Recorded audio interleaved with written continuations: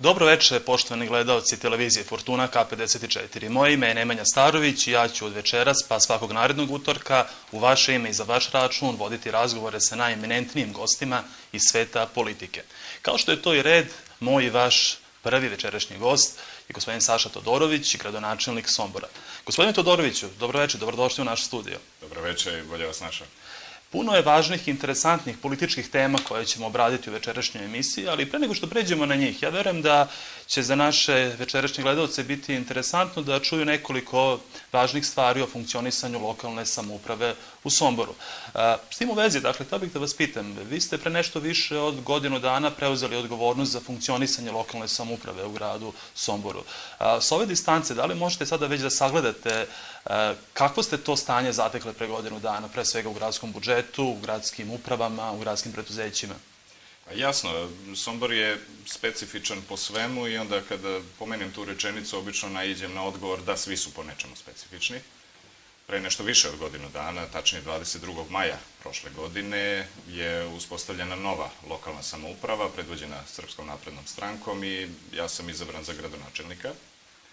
I zatekli smo u najmanju ruku haos u svim kažem, uslovno javnim preduzećima, u financijama i trebalo nam je izvesno vreme da sve to dovedemo u red. Znate, uvek je teško kada nasledite, recimo, budžet koji je kreiran 2013. a trebao da bude realizovan 2014. Mi smo došli na polovini i zaista smo imali onako dobrih problema da, da ispoštujemo pre svega budžetski zakon, a onda i da dovedemo tu 2014. godinu koja je bila teška na nivou čitave Srbije, pa time nije bio izuzetni grad Sombor, da je dovedemo do kraja uspešno i, i onako kako smo mi to zamislili, kako je bila naša vizija. E, kada kažem da je bio haos, e, to mogu da potkrepim i sa mnogo činjenica. Nasledili smo e, relativno neuređena javna preduzeća, samo nešto pre toga, pre našeg preuzimanja vlasti ili odgovornosti za vršenje vlasti u gradu Somboru, su formirana dva preduzeća, javna komunalna, jedno je prostor, jedno je zelenilo, i stekli smo utisak da su bili prepušteni sami sebi, budući da, da nisu se najbolje snašli u momentu samog formiranja, pa bih rekao sve do nedavno, kada smo mi uspeli da podignemo, ja ću to da nazovem borbenu gotovost, da osposobimo ta dva preduzeća da zaista rade ono za šta su i formirani. Pre svega zelenilo, a može svako da se uveri ko dođe u grad Sombor, da je to dobro uređen grad u toj oblasti, i ono što je najbitnije bilo, to je bilo naše insistiranje, da to javno preduzeće bude konkurentno i da posluje e, tržišno, da se prijavljuje na konkurse, da uzima određene tendere, da aplicira ka određenim sredstvima i mogu da kažem da sam sada zadovoljan. Što se tiče drugog preduzeća JKP prostora, ono se naravno bavi, ja bih rekao opet, rahranom čitave Srbije da tačno utvrdi šta je to javna svojina, da kažem, grada, šta je to republike da bi se između ostalog grad i, i ostali nivoji vlasti finansirali iz toga. Reći ću vam samo jedan primjer da je u nekom prethodnom periodu, a sa tom praksom se sada prekinulo, e, grad e, dvostruko gubio. Znači, mi smo izdavali poslovne prostore za koje zakupci ili većina zakupaca, naravno moram da kažem da je bilo tu i disciplinovanih i zaista e, odgovornih ljudi koji su plaćali zakup redovno, izmirivali svoje obaveze ugovorno preuzete, ali bilo je i mnoštvo udruženja političkih partija, preduzetnika koji jednostavno su zanemarivali tu svoju obavezu. A kako, kako, kako je to moguće? Dakle, da li je to bila neka politička odluka koja im je pa dozvoljavala da... U, upravo tako, eto, upravo ste, upravo tako. Znate kako je funkcionisalo. Vi znate mene, ja znam nekoga i taj treći je između nas dva posrednik koji se dogovori fiktivni ugovori, aneksi ugovora se pojavljuju umeđu vremenu, gde se izigra onaj osnovni ugovor i što bi naš narod rekao, ja često volim da koristim te naše narodne izreke, poju vuk magarca. Dakle, gubili smo u tom smislu da nismo naplaćivali naše izvorne prihode, a drugo je bilo da smo raznoraznim e, udruženjima, političkim organizacijama, nismo čak, e, čak smo mi kao grad, lokalna samouprava, znači svi građani plaćali režije. I zato kažem da je dvostruko grad gubio. M niste prihodovali, M ste imali izdatke iz budžeta. Imali smo veliki rashod iz budžeta baš da bi pokrili te režije. E, mi smo se ugledali na novosadski model, e, budući da je tamo, na čelu sa gradonačnikom Milošem Vučevićem, e, njihovo javno komunalno preduzeće koje se bavi istom delatnošću, napravilo jedan vrlo kvalitetan pravilnik kako da tome stane na kraj i da zaista grad prihoduje ono što su mu izvorni prihodi. Mi primenjujemo sada taj pravilnik i mnogo smo e, unapredili pre svega naplatu onoga što je zaista naše, što nam pripada po svemu. E, rekli ste da je stanje koje ste zatekli pre godinu i tri meseca bilo veoma teško. Kažu da je sudbina nekog gradonačelnika da pravi dugove, a onda onoga sledeće koji dođe da te dugove servisira i da ih vraća. Ono što sam želeo da vas pitam, dakle, na čemu ste se najviše angažovali u zadnjih godinu dana? Da li je to problem viška zaposlenih u upravi, da li je problem ova dva preduzeća koje ste spominjali i gde su bili najveći problemi dakle, koje, ste, koje ste rešavali sa svojim timom? Pa reći ću vam najiskrenije, najveći problemi su bili u vraćanju pozitivnog imidža grada Sombora, budući da od 1996. a to moji somborci dobro znaju, je ovde vladala, preuzimala odgovornost za vladanje demokratska stranka u raznoraznim oblicima sa raznoraznim svojim koalicijnim partnerima, sve do 2014. dok nije došlo do te smene. I zaista... To je 18 godina? To je punih 18 godina. Dakle, Sombor je stekao punoletstvo u kontinuitetu jedne, e, mogu slobodno da kažem, i najodgovornije moguće, loše i neodgovorne vlasti. Kažu da se najbolji za 15-20 godina pokvare, a kamoli neki koji možda i nisu imali Tako je. neke kvalitete kada su na vlast dolazili. Ajde da to formulišemo ovako, statistika im nije sklona. Da. Jel tako? Dakle, vraćanje imiča. E, to podrazumeva širok spektar. E, recimo, mi, i to me uvek podsjeti na, na jednu priču, mi smo puno energije puno para preko raznoraznih projekata, znači vrlo smo aktivni bili, e, dobili sa raznih nivoa i naravno i nešto iz inostranstva, da unapredimo pre svega našu industrijsku zonu. Mi imamo industrijsku zonu koja je prošarana što e, našim kao gradskim područjem, što privatnim područjem. I onda smo e, uvideli da sada novi investitori sa kojima intenzivno razgovaramo jednostavno traže nove tehničke mogućnosti Verovatno veće parcele. Tako je, znači tu morate da imate gas, morate da imate e, vodu, morate da imate struju koja dozvoljava da se nove mašine, nova tehnologija uvede, mi to jednostavno nismo imali. Dakle, potpisali smo ugovore, to je sada već u, u fazi izrade, pojačavanje potencijala industrijske zone da bismo ikoga mogli da privučemo. Ako govorimo o novim radnim mestima, što je ono što građani očekuju. Tako je, tako je. E, mi imamo već sada u septembru, će da nam započnu, da kažem uslovno, dve relativno dobre e, investicije.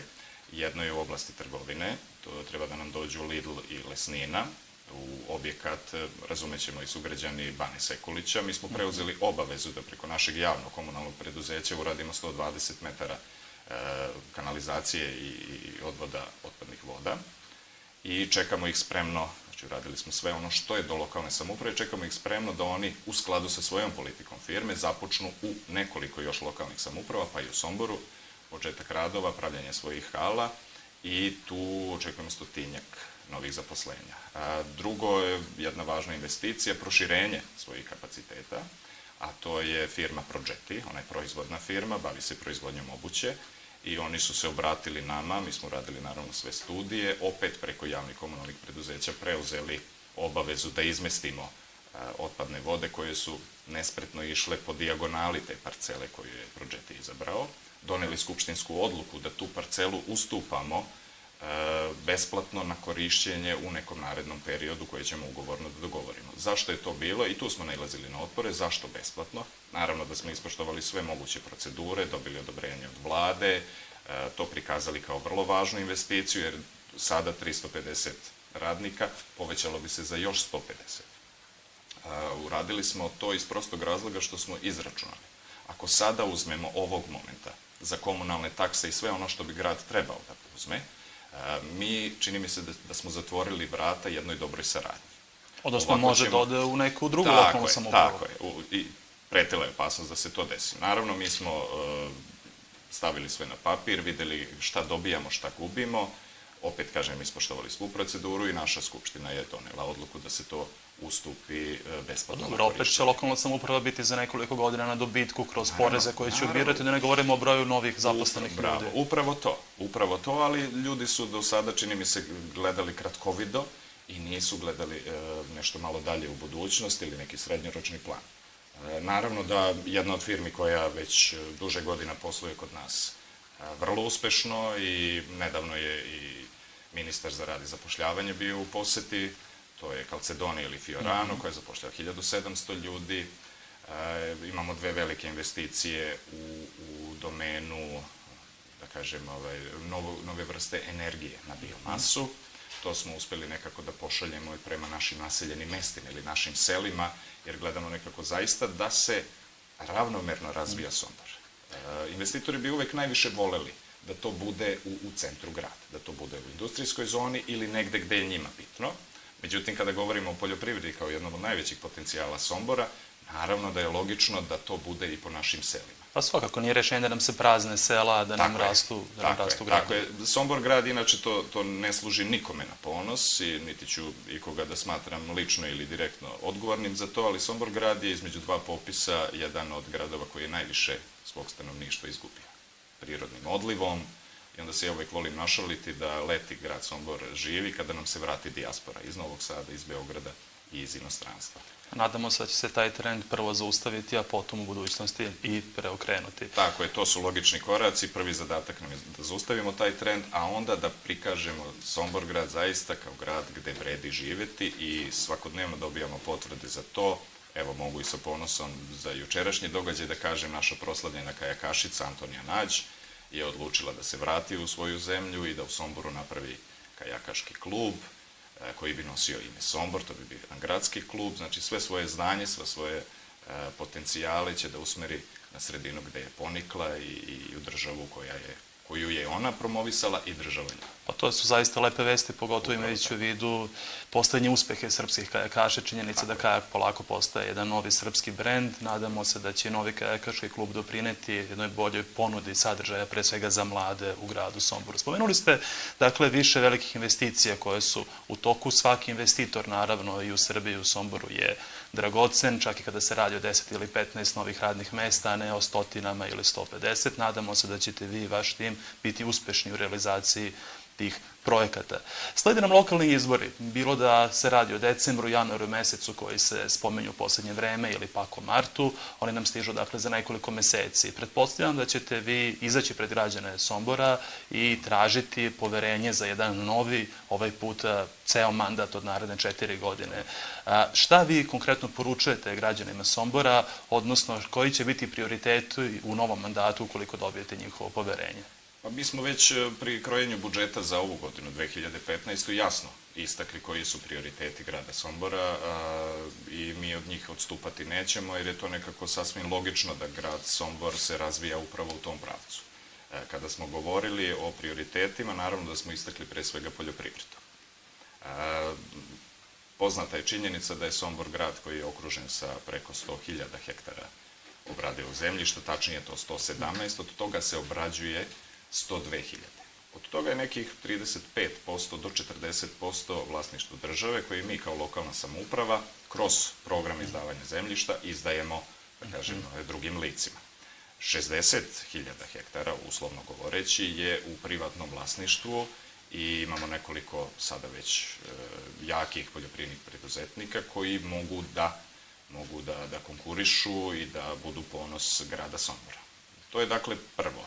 U intenzivnim smo pregovorima i, sa, i uvek u saradnji sa vladom Republike Srbije vezano za ovu mesno prerađivačku industriju, tenis ili samo da, tenis. Samo da vas pitam, na koji način grad Sombor pomaže poljoprivrednicima sa svoje teritorije? Pa evo sad ću da vam kažem jedan e, najkonkretniji primer, što bi rekli od, od nedavno i od danas. E, mi ih naravno upućujemo, pre svega to je nekako prvi korak, ta edukacija. I, i, i vi i ja smo iz te struke pa se odlično razumemo. Jednostavno nemoguće je očekivati da preko 6000 malih gazdinstava koji su registrovani zvanično na teritoriji Sombora, da svako od tih 6000 ljudi e, prati da je dovoljno obučen da napiše recimo nekakav projekat vezan za, za apliciranje za neka sredstva. E, mi često organizujemo preko poljoprivredne stručne službe edukaciju, napravili smo čak i edukativni centar, to je bila jedna saradnja između grada, Ministarstvo poljoprivrede. Tako je, poljoprivredna stručna služba i USAID tog momenta se našao kao jedan od partnera i napravili smo jedan vrlo modern edukativni centar koji ima i prevodilačku kabinu i 120 sedećih mesta za seminare i tu pokušavamo da edukujemo naše poljoprivredne proizvođače da apliciraju ka nekim fondovima. Često organizujemo predavanje jer ljudi nisu upoznati sa svim što može. Dakle, znanjem preko znanja do uspeha. Tako je. Mi subvencioniramo, recimo, ako biste vi želeli da analizirate kvalitet zemlje na nekoj njivi koju ste kupili ili ste uh, iznajmili na godinu ili tri, koliko mi to radimo, uh, besplatno je. Recimo, i to je neki prvi korak da vam neko iz stručne službe kaže da biste tu trebali da oplemenite zemlju na taj način ukoliko želite da se bavite proizvodnjom tog i tog uh, proizvoda. Imamo naravno i fond za poljoprivredu koji daje ono što je kod nas popularno dinar na dinar. Znači, ukoliko sa nekom bankom Polovinu napravite sredstava. ugovor, jeste, mi smo spremni za i gledamo da, da to bude opredeljenje e, Sombora, budući da vidimo da je to opredeljenje čitave republike. Znači, pre svega agrobiznis, proizvodnja, prerada hrane. Tako je, upravo to, proizvodnja. Proizvodnja i mi smo sada nivou, na nivou da imamo odličnu sirovinsku bazu. Nisam lično zadovoljan time, nije čitava država Srbija zadovoljna time, fali nam taj sledeći korak prerađivačka. Znate, najlakše je prodati e, svoj potencijal, e, svoju proizvedenu robu i na kraju vi najmanje imate od toga ili, kako se to obično svede, ništa. Znači, onog momenta kada budemo dostigli taj korak, a to Prvi, je jedan drugi od ciljeva, prerade. Tako je, da ide prerada. Pa makar u ovom prvom momentu to što vi govorite, prvi stepen prerade, opet će biti neuporedivo bolje za naše poljoprivredne proizvođače nego sada kada prodaju svoj gotov proizvod, odnosno sirovinu. Naravno da, da pazimo i na neke stvari koje olakšavaju našim sugrađanima život. Vlada Republike Srbije je donela e, svoju odluku da recimo svi vodovodi koji su do sada bili u vlasništvu mesnih zajednica, e, građeni samodoprinosom i tako dalje, da sva javna komunalna preduzeća koje se bave tom delatnošću preuzmu. Preuzimanjem tih ne preuzimaju samo naplaćivanje usluga, Već i održavanje. održavanje i garanciju kvaliteta vode. Mi upravo ovih dana, ili negde u septembru, treba da otvorimo i novu fabriku vode koja je gotova, prošla je sve tehničke pripreme, dobila sve postojeće dozvole i sa 200 litara u sekundi mi podižemo kapacitet na 400 litara u sekundi, što je više nego dovoljno da se čitava teritorija grada Sombora, tu mislim i na naseljena mesta, snabdeva pijaćom vodom koja je ekstra kvaliteta, jer sve analize govore da je to. Naš problem jeste što su cevi po raznim naseljenim mestima, pa i po samom gradu, stare preko 40 godina.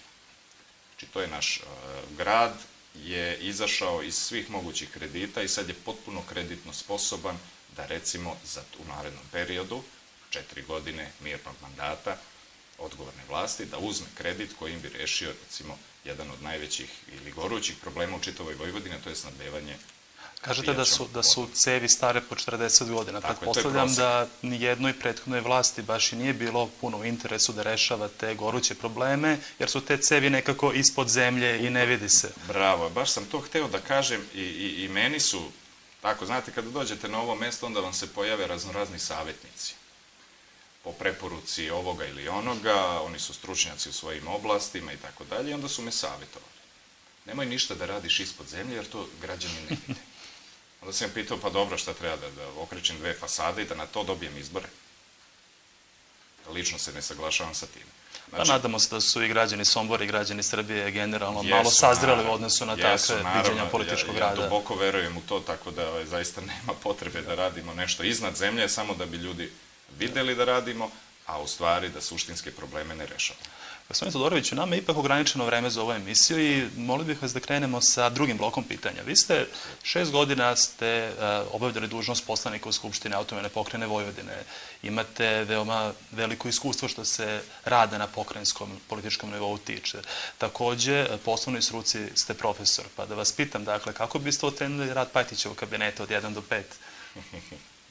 E, mene moji đaci znaju kao nekoga ko baš ne voli da daje jedinicu. Ali bi ovde dao jedinicu kao eventualno motivacijona. Ima prilike, možda će se popraviti za Možda jedan na 15 dva? Možda za nekih 15 godina se poprave, pa eto, ajde da bude jedinica motivacijona. Pa punih, Ali- pe, punih 15 godina oni praktično vrše je. vlast u AP Vojvodini. Tako je. I, I živo se sećam, naravno, od 2008. sam pokrajinski poslanik, živo se sećam zaista poteza koje je autonomna pokrajina, odnosno vlada autonomne pokrajine Vojvodine e, vršila i, i zaista sam bio, rekao bih, veliki borac za, za, e, za Sombor pre svega, jer ja sam to shvatio kao, kao nešto, čovek koji predstavlja Sombor. I onda smo dolazili na, na krajnje poražavajuće podatke da kroz recimo razvojni fond Vojvodine, kroz razvojnu banku, kroz, kroz nismo dobijali dovoljno sredstava. Ja sam se uvek pitao šta je to u pitanju.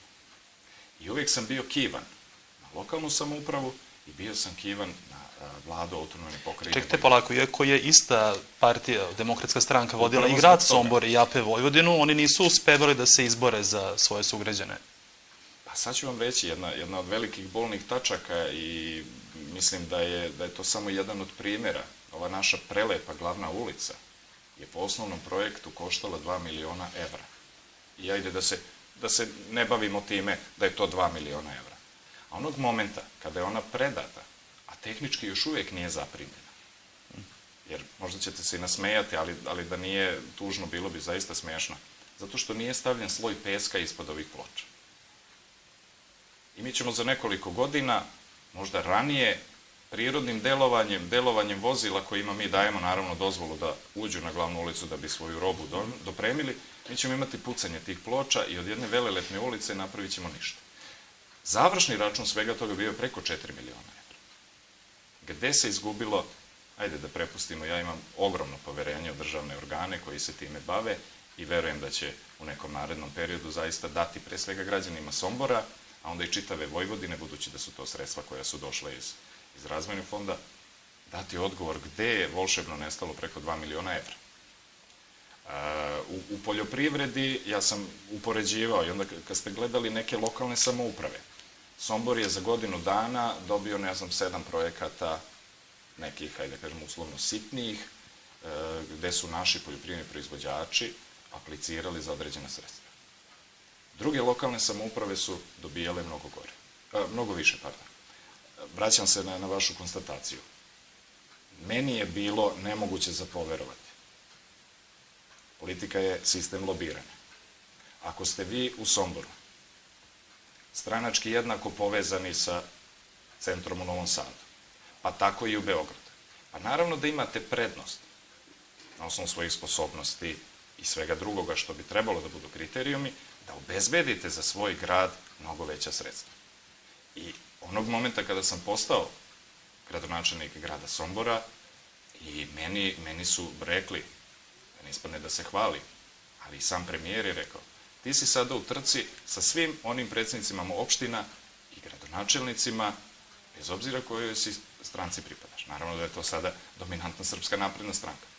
Ali jednako, kao što gradonačelnik Kragujevca želi da bude uspešan za svoje sugrađane, želim i ja za svoje. I mi se trkamo. I mi radimo projekte.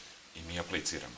I to je kriterijum koji u Srbiji se uspostavio i to je kriterijum po kome se ocenjuju, da kažem, ovaj, uspešni, uh, uspešni gradonačnici, predsjednici opština koji mogu čista obraza da izađu na sledeće izbore i da kažu da ljudi, ovo smo radili, ovo smo započeli, ovo ćemo završiti kada dobijemo vašu podršku za sledeći mandat. Dakle, konačno govorimo o nekoj vrsti meritokratije u Srbiji, Upravo o vladavini zasluži. Upravo to. E, da se vratim ipak još malo na pokrenjske, institucije pokrenjske vlasti. Vi ste malo pre spomenuli rad pravosudnih organa. E, svedoci smo da se zadnjih meseci ili zadnjih par godina govori o ogromnim zlopotrebama u fondovima autonomne pokrene Vojvodine, razvojne banci Vojvodine. Kada očekujete neku vrstu pravo, sad pravosudne konačnice tih slučajeva, odnosno na koji način će se to sve završiti i kako možemo kroz tu prizmu sagledavati efekte rada pokrenjske vlasti Bojana Pajtića?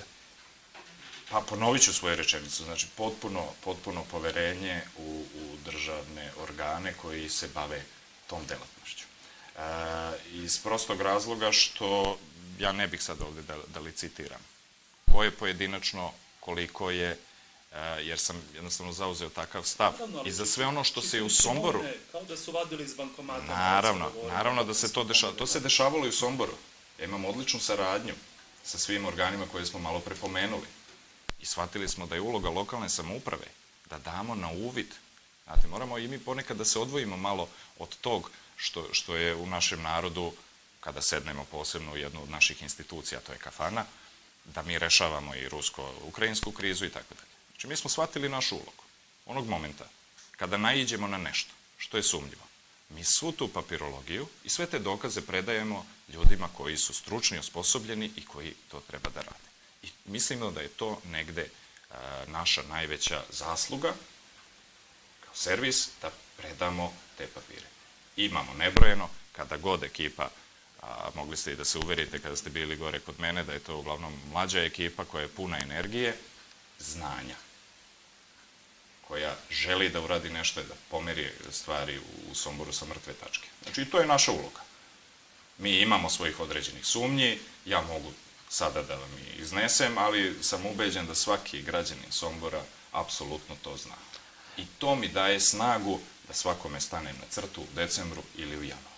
Da, upravo govorimo o tom decembru ili januaru mesecu. Pored lokalnih svakako nas očekuju i pokrenjski izbori. Ističe praktično poslednji mandat vlade Bojana Pajtića. Vi ste član glavnog odbora Srpske napredne stranke. Dakle, u samom ste vrhu najveće političke stranke u Srbiji.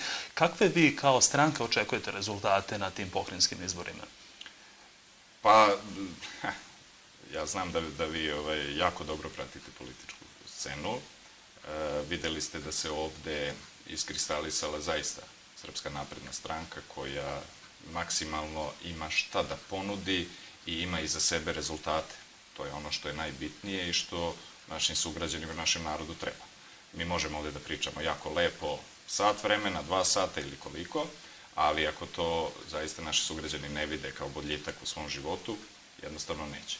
Imali smo naravno i jako teških odluka, mi smo praktično sve odluke ispoštovali, pratimo rad državnih organa Republike Srbije, pratimo rad vlade Republike Srbije koja da kažem, ima, ima zaista jedan vruć krompir na nivou čitave države da uvede red. E, mi to pratimo iz prostog razloga smo shvatili ako se i lokali ne pridruže e, deljenju te politike uvođenja reda, onda mislim da, da posao našeg premijera nažalost neće biti do te mere uspešan. Da. E sad, a, šta, šta mi, mi e, možemo još da uradimo vezano za sve to kao stranka, mislim da možemo da budemo stranka odgovornih ljudi, stranka koja ima e, dobru viziju i da na svakom lokalnom nivou zaista imamo ljude koji mogu da iznesu e, teret ovih promena koje su koje su započele dolaskom Srpske napredne stranke. Da, ali kada govorimo o tim e,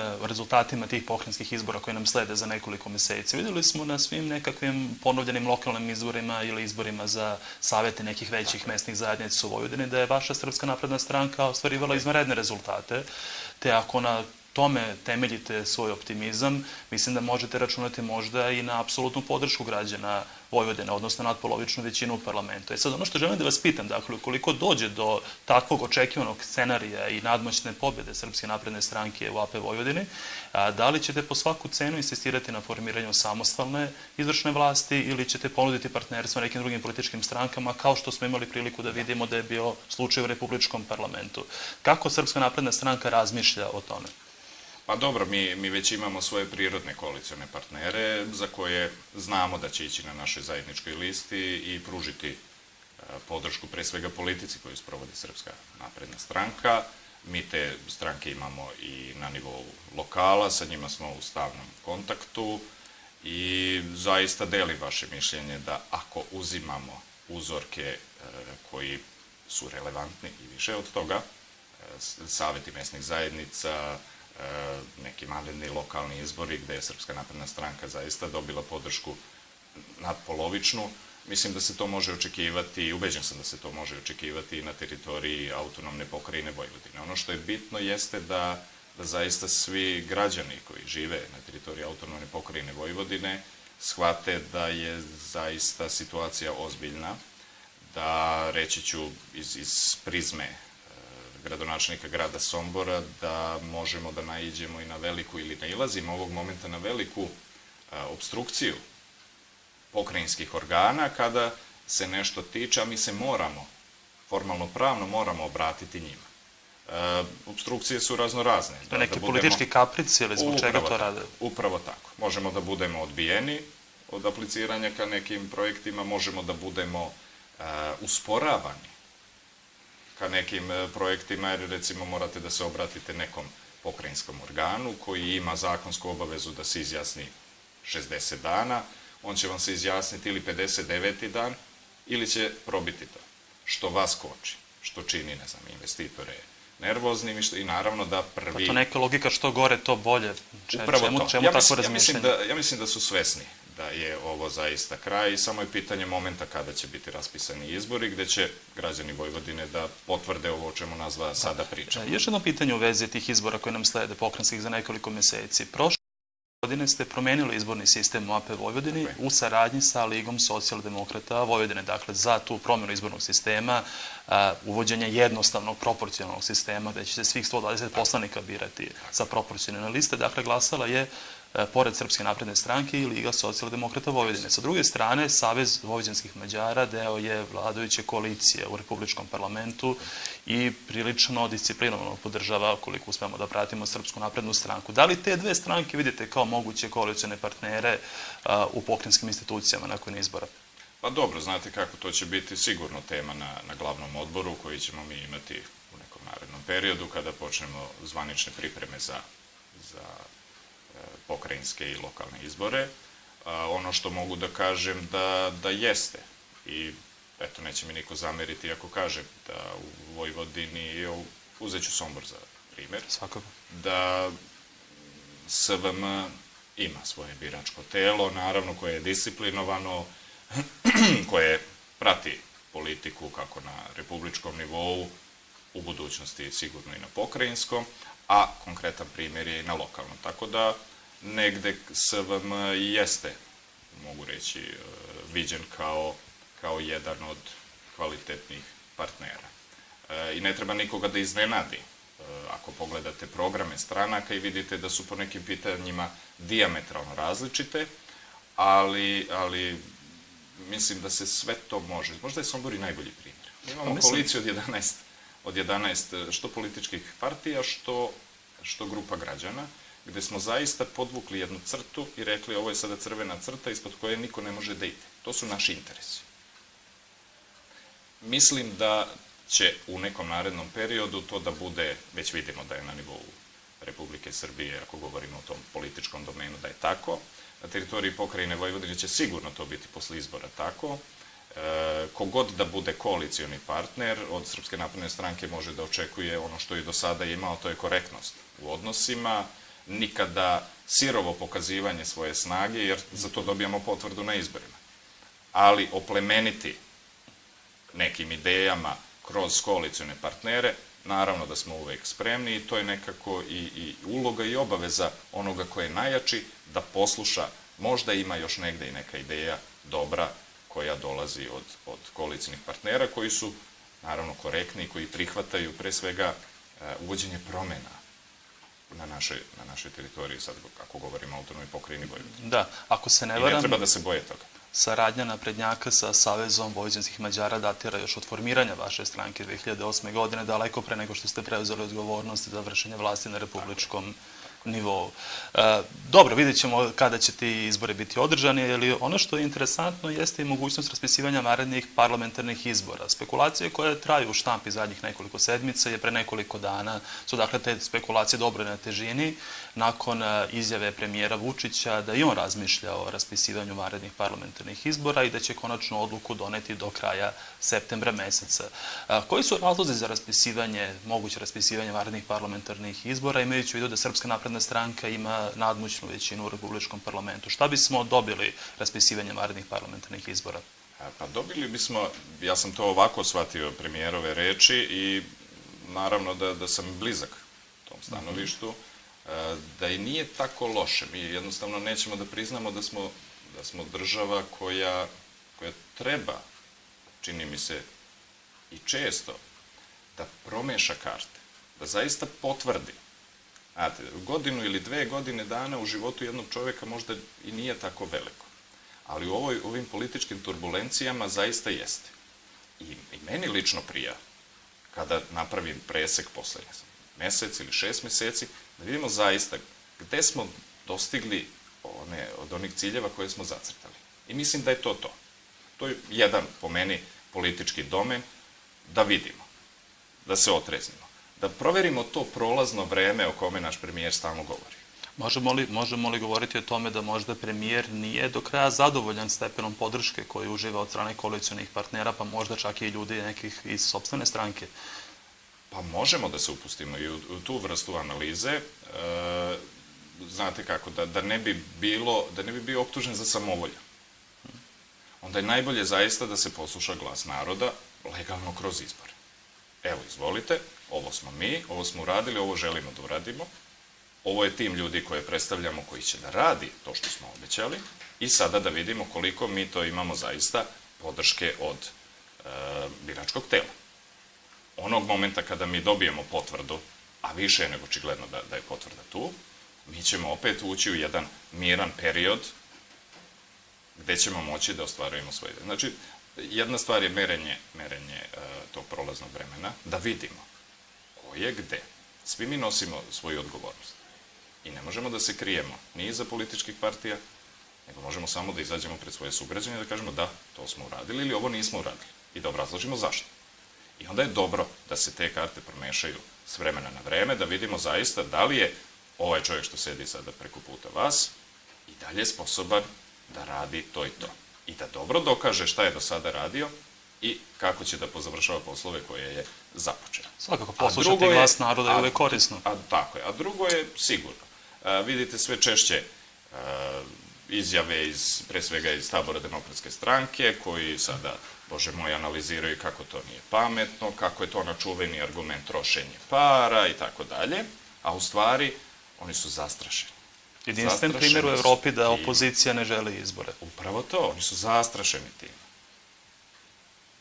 Zato što znaju ko će da dobije potvrdu. I onog momenta kada vi dobijete potvrdu svojih sugrađana, svojih, da kažem, na, na nivou Republike, vi onda imate i dodatno, dodatni legitimitet. To je ono što Srpska napredna stranka već mesecima unazad, kroz parlament e, autonomne pokrajine Vojvodine govori o legitimitetu ove vlasti u pokrajini, naravno govorim. Gospodine Todoroviću, e, moramo preći na treći blok pitanja, s obzirom dakle na ograničeno vreme emisije.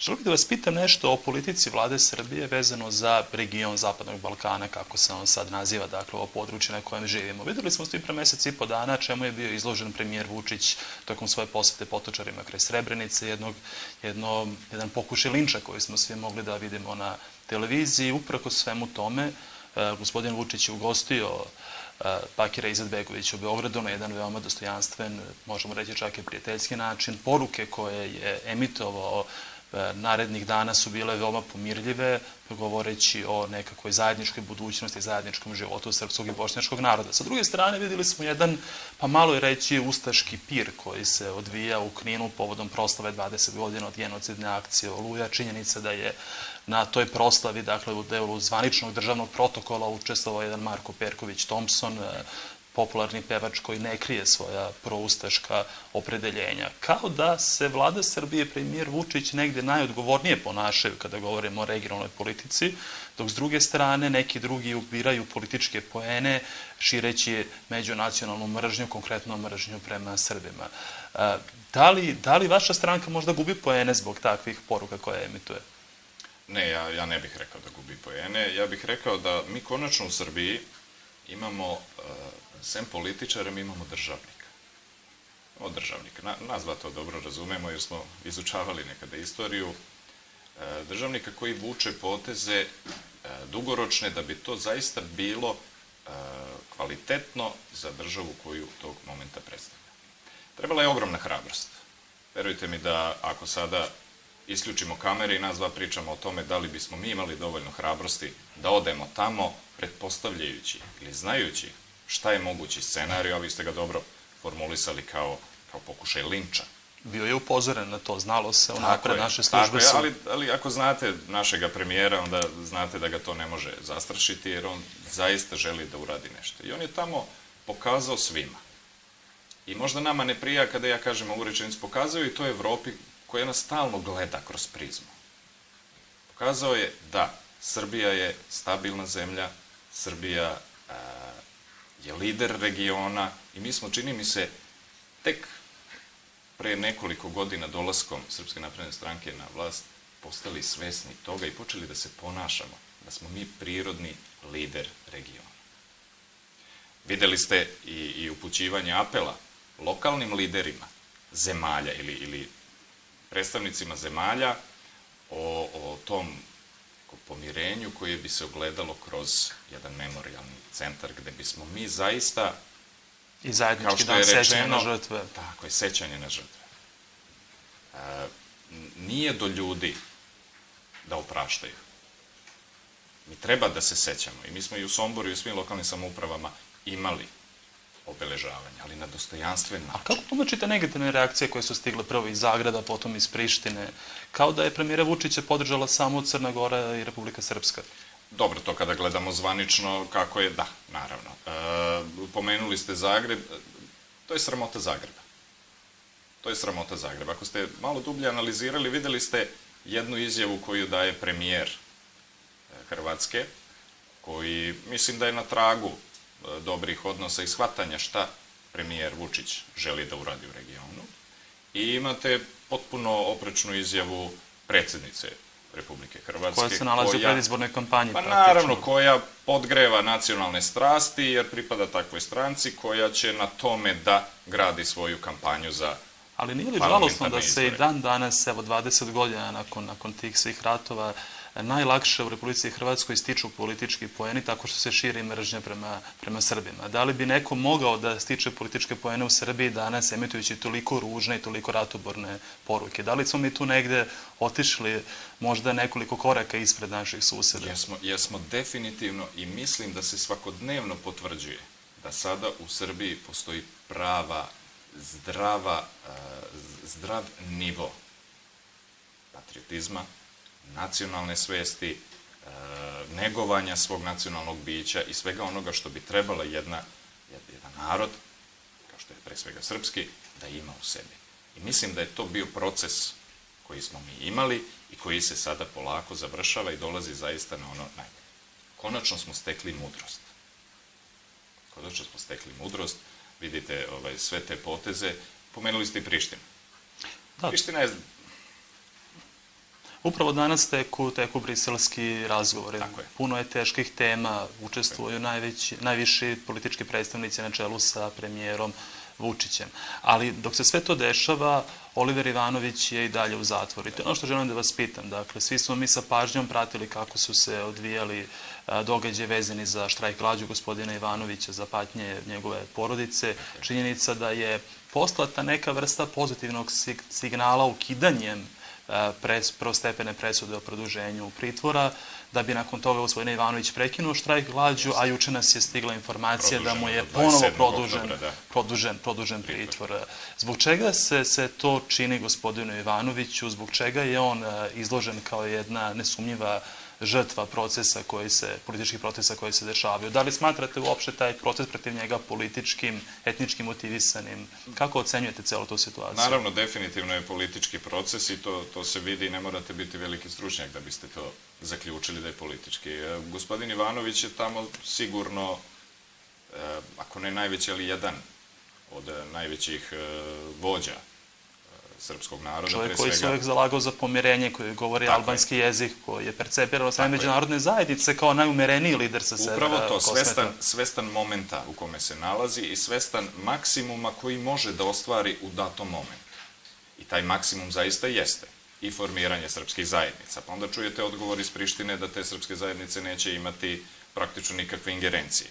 Pa onda imate briselske sporazume gde jednostavno predstavnici E, koji dolaze iz Prištine, a smatruju sebe zvaničnim predstavnicima, e, napuste pregovore.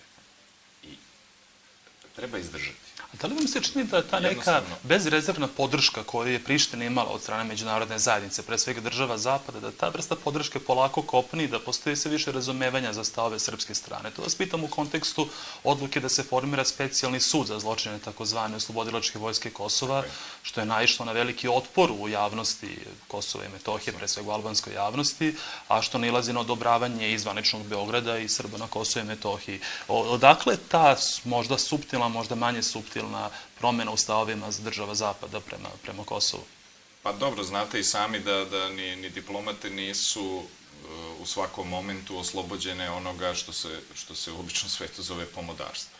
Jedno vreme je zaista bilo, dok, dok e, se nije iskristalisalo ovo tema o kojoj smo malo prepričali, da je zaista Srbija prirodni li, lider regiona i garant stabilnosti čitavog ovog regiona. Nikome ne treba. Ni toj Evropi koju mi smatramo razvijenom i demokratskom i tako dalje, njoj ne treba novo žarište.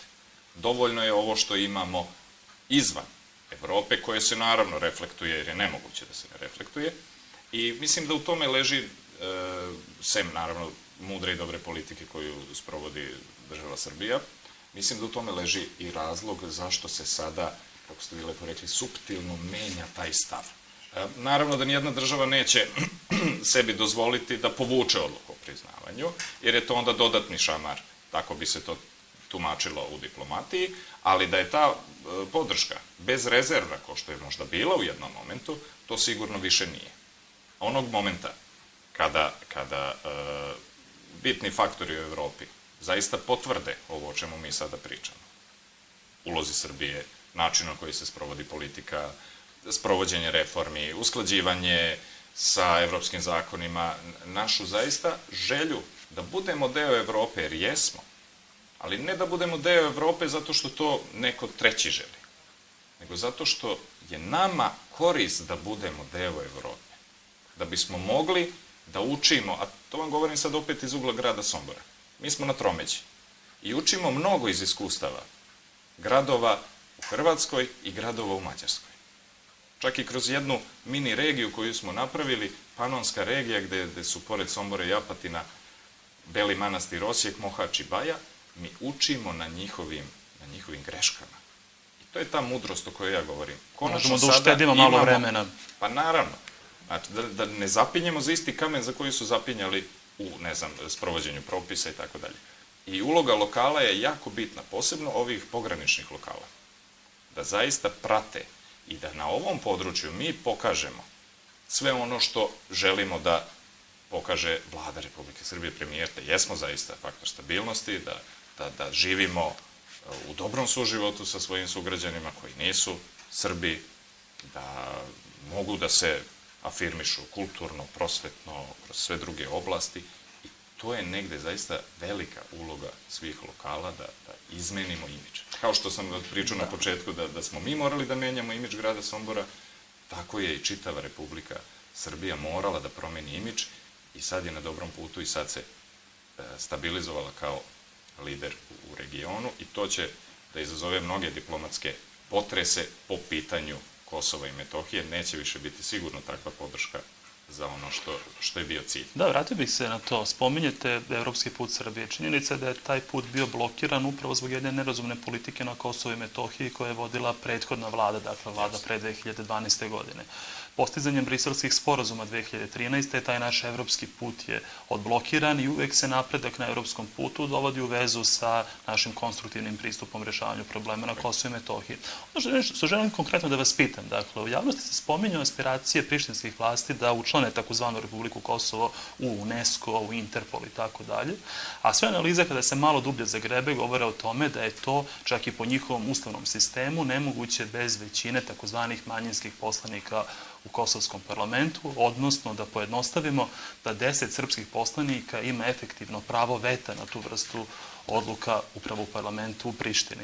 A, kroz prizmu te informacije, dakle, sada možemo posmatrati i odluku vlade, vladu Srbije da pozove Srbe sa Kosova i Metohije da učestvuju na parlamentarnim izborima na Kosovu, da uđu u institucije, odluka koja je tada možda bila kontroverzna, koja je nailazila na osude sa desne strane političkog spektra, a sada se vidi puni puni njen značaj. Dakle, da ponovim, Kosovo neće moći da se učlani u Interpol ili UNESCO bez glasova srpskih poslanika i to ne nekakvih tačijevih Srba, već Srba koji su izabrani uz podršku vlade Republike Srbije. Dakle, to je ono što želim, želim prosto da istaknem i da, i da vas upitam, dakle, da li delite tu vrstu ocene, dakle, da, je, da su kritike koje su dolazile sa desnice bile potpuno bespredmetne, a u neku ruku i štetne bile su pre svega, tako je, bile su pre svega štetne i, i opet se vraćamo na onu kratkovidost. Jednostavno, da biste se bavili tako uh, delikatnim pitanjem, kao što je ovo o kome sada pričamo, vi morate uh, da imate mnoštvo informacija i morate da imate ličnu hrabrost za nekakve poteze. I, mislim, to samo potvrđuje uh, onu, onu priču i one stavove da ako se borimo za gole fotelje, ako se borimo za gole privilegije, jednostavno izgubit ćemo taj kompas uh, neke nacionalne politike. Po meni je odlična odluka da uz podršku države Srbije, e, Srbi na Kosovo i Metohiji učestvuju na tim izborima, jer je to u ovim datim okvirima, datim mogućnostima jedini način da mi sprečimo ono čega se svi, da kažem, bojimo i, i što nijedan građanin Srbije verovatno nikada ne bi pristao. Ali naći pravi model kako da se borimo sa tim. To je ovo, kroz institucije, kroz malo pomeranje, kroz e, diplomatske, diplomatske akcije, kroz e, sticanje, da kažem, novih prijatelja, kroz, kroz pravljenje onoga ko je do juče imao mišljenje o Srbiji da je to, ne znam, neko ratničko pleme na stepenu razvoja kamenog doba, da zaista to nije to. Pa vidimo da se i stav međunarodne zajednice svakako menja. Da ne spominjemo i to da su najveće države Zapada odustale od učešća na vojnoj paradi u Zagrebu nakon intervencije srpske diplomatije. Gospodin Todorović, mi se evo bližimo kraju emisije, još nekoliko minuta. Ono što želim da vas pitam e, jeste Činjenica da se posljednjih nekoliko dana u Beogradu nalazi misija Međunarodnog monetarnog fonda koja je pozitivno ocenila efekte rada vlade Srbije u ekonomskom domenu. Činjenica je da izlazimo iz negativne prognoze, dakle što se tiče rasta GDP-a, odnosno brutodruštvenog proizvoda i prešli smo iz minusa u plus, nekih 0,5 do 1% će biti rast naše ekonomije u 2015. godini, što je po rečima premijera Vučića otvorilo mogućnost da dođe i do nekog blagog rasta penzije i plata u javnom sektoru. Kada vi očekujete taj, taj rast i da li su tačne informacije koje se pojavljuju u štampi da će e, taj rast prvi osetiti radnici u prosveti? Da, da, to su naše kolege. Da, pa gledali ste ovaj, juče očigledno konferenciju za štampu koju je premijer upriličio pred novinarima u vladi i rekao je da će rast, naravno penzija i plata da bude, osokoljen ovim stavom koji je MMF mi možemo da imamo različita mišljenja o MMF-u i tako možemo da, da, da se kockamo kao Grčka, e, da priznajemo ili da ne priznajemo MMF, ali mislim da vraćamo se na tu temu odgovorne politike. MMF je institucija koja je jednostavno tu, koja ima određenu moć u svojim rukama i koja, da kažem, određuje određena pravila, koja smo mi potpuno prihvatili, i koju smo dobro odigrali i zbog toga imamo sada ove pozitivne efekte. Znači, očekujem da će da bude do kraja godine sigurno, povećanje plata i penzija i drago mi je zbog e, naših ili, ili svojih kolega prosvetnih radnika koji imaju veoma važnu ulogu u društvu i dok sam bio prosvetni, samo prosvetni radnik, bit ću, bit ću čitav život prosvetni radnik, jer to mi je nekako omiljeno Poziv. zanimanje, tako je. Ali i dok sam radio konkretno sa svojim kolegama, e, verujte da, da nije uvek bio taj materijalni moment mislim da je da taj materijalni moment treba da prati vraćanje uloge prosvetnog radnika u društvu. Da on bude prihvaćen kao zaista jedan bitan faktor koji, po Bogu, radi, radi sa našom decom. Pola dana on pravi, oblikuje tu našu budu, tu, tu, tu našu najosetljiviji deo stanovništva oblikuje za neki budući život. I mislim da bi to, pored naravno ovog materijalnog, jer svi, što kaže, živimo od, od tog dinara. Pored tog, mislim da bi trebalo da se te reforme usmere i ka ovome. Vraćanju, bilo je pokušaja, znate i sami, davanja statusa službenog lica, ne. Ne treba prosvetnim radnicima to. Treba im uvažavanje, realno, realno ocenjivanje. Da se tačno zna u jednoj sredini da je učitelj taj po tim i tim kriterijima dobar i da je uvažen. Pa, evo, možda Mislim da to, da to mojim kolegama fali jednako kao i ovaj deo materijalni koji će biti, naravno, jer evo vi sami ste rekli u uvodnom pitanju da je pozitivne su ocene i bit će prosvetni radnici zadovoljniji. Uh, gospodine Todoroviću, možda eto i, i negde i najbolje da sa tim porukama zahvalnosti i uvažavanja prema prosvetnim radnicima zaključimo večerašnju emisiju. Ja se zaista zahvaljujem na vremenu koji ste izdvojili za naše gledalce i nadam se da ćete uskoro ponovo biti naš gost. Hvala vama najlepše i želim vam uspešnu emisiju i u narednom periodu. Poštovani gledalci, bilo je ovo još jedno izdanje emisije rezervisano za. Ukoliko ste propustili neki deo večerašnje emisije, možete pogledati njeno reprizno izdanje sutra od 16.30, kao i u nedelju od 20 časova i 30 minuta. Mi se vidimo naravno sledećeg utorka. S Bogom i do gledanja. To 50 koji minut.